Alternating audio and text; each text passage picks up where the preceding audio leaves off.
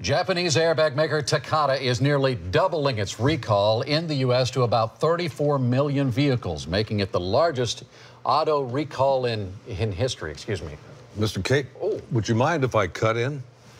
Well, it only seems just appropriate, Bob. Hite, why not? Just one last chance. The chair is Bob all yours, Hite my here friend. on my last day. Aside. You're going to bring us up on our consumer headlines, right, Bobby? I my my new career is uh, from uh, from camping out in the West to being a consumer reporter. I see. Well, on your last day. Take it away, big Let, guy. Let's see if I remember how to do this. No, that's a teleprompter, right? And that's your camera. There you go.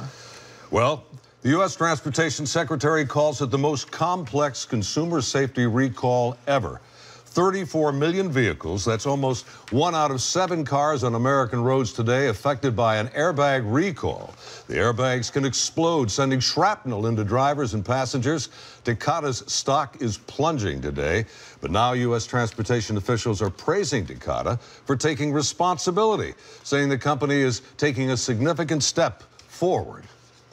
8 is on your side with everything you need to know to keep your family safe.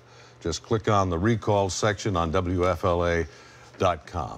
How am I doing, Gayle? So far, so good, Bobby. Keep going. Thank you, ma'am. Attorney General Loretta Lynch announced a massive Justice Department investigation into the world's leading banks Citicorp, Barclays, JP Morgan Chase, and Royal Bank of Scotland pleaded guilty to trying to rig foreign currency markets in their favor.